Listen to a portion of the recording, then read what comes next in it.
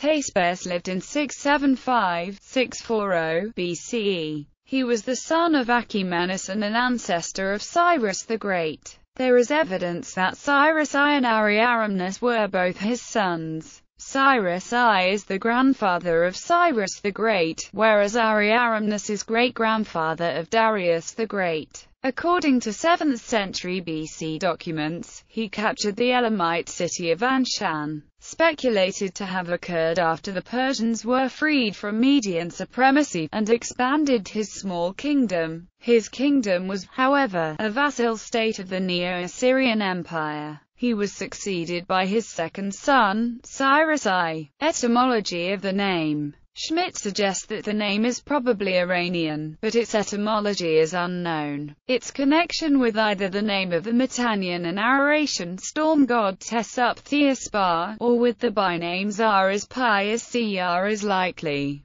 Bibliography Akbarzadeh, D. Jahyanezad. The Behistun inscriptions. Karnai Tagan Ihon Hasanati. ISBN 964-8499-055. Kent Ronald Grubb. Old Persian. Grammar. Text Glossary. Translated into Persian by S. Oyan. ISBN 964-421-045-X. Check date values in. Date equals. Schmitt, Rudiger. CISPIS. Encyclopedia Iranica 5.